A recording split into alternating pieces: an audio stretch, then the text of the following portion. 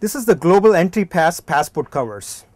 What happens is the backside of the passport goes in here and the entire passport is scannable without you undoing it. If you have a global entry pass or some other paperwork, it can go in here and it, it can even carry two passports. So this is a passport arrangement that is scannable without you undoing the, uh, the passport out of the case. So this is more immigration friendly. So we call this the global entry passport case arrangement.